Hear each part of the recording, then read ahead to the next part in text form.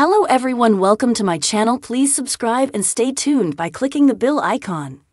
Bridgerton's Luke Thompson speaking French has the internet melting.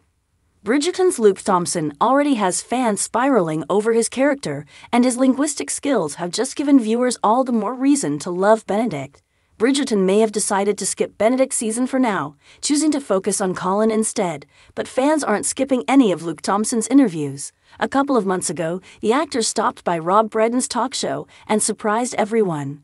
Apart from discussing how he landed his Bridgerton role and what other projects he had lined up, Thompson shared that he had grown up in France and even spoke a little bit of French with the show's host. Brydon even complimented the actor's French accent, but joked that his vocabulary was not so good, to which Thompson agreed. Check out his French skills for yourself.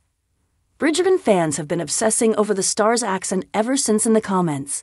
They even sound ready to start a petition to have Benedict speak some French on the show. Maybe he can discuss the intricacies of art with some visiting French painter? Yes, please. That would be completely in character for him. After all, he is part of London's higher society.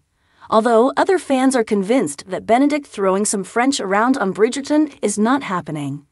Bridgerton is set in the beginning of the 19th century, and that was when Britain was at war with France. However, the series takes place in an alternate reality where racial issues are different, so who knows, maybe Britain is not at odds with its neighbor there. Anyway, Thompson himself is fully bilingual. He was brought up in France from the age of two, and he studied at an international school in Fontainebleau from 1997 to 2005.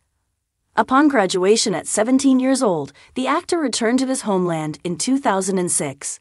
We don't know about you, but we want Luke Thompson to get cast in a French language movie or show as soon as possible.